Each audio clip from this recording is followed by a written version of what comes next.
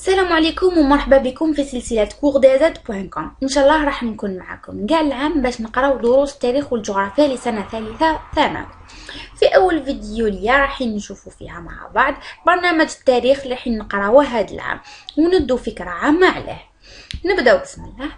في مادة التاريخ عندنا ثلاث وحدات تعليميات اللي هما سهلين خفاف وظراف بالبزاف مشوقين ما تقدروش تتصوروا شحال. الوحدة التعليمية الأولى اللي حين نقراوها هي تطور العالم في ظل الثنائية القطبية من بين سنة 1945 إلى غاية 1989 في الوحدة هذه حين يقابلونا أربعة دروس. الدرس الأول هو بروز الصراع وتشكل العالم الثنائية القطبية. تما يتشكلوا لنا زوج ثنائيات. الدرس الثاني هي الأزمات الدولية في ظل الصراع بين الشرق والغرب. هذا الدرس يقراوه غير شعبتين برك اللي هما الأدب والفلسفة والتسيير والاقتصاد. الدرس الثالث هو مساعي الانفراج الدولي اللي معناته التعايش السلمي. الدرس الرابع والأخر من هذه الوحدة هي من الثنائية إلى الأحادية القطبية.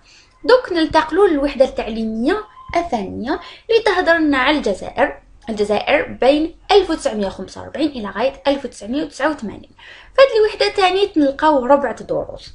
الدرس الأول هو من تبلور الوعي الوطني إلى الثورة التحريرية. هذا الدرس خاص ب les philos و la gestion الدرس الثاني هو العمل المسلح وردة فعل الاستعمار. الدرس الثالث هو استعادة السيادة الوطنية وبناء الدولة. الدرس الرابع والأخير من هذه الوحدة هي تأثير الجزائر وإسهامها في حركة التحرر هذا الدرس الثاني تراه خاص ب les gestions و les philos. نروحو دوكا للوحدة التعليمية الثالثة والأخرى من البرنامج.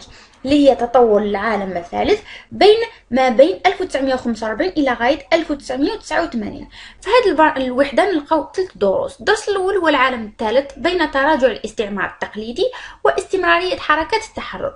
الدرس الثاني هو سقوط الاتحاد السوفيتي وأثره على العالم الثالث. هذا الدرس خاص بشعبة أدب وفلسفة وتسيير واقتصاد أما الدرس الثالث والأخر من البرنامج تاعيتك هو فلسطين من تصفية الاستعمار التقليدي إلى الهيمنة والأحادية والتواطؤ الدولي.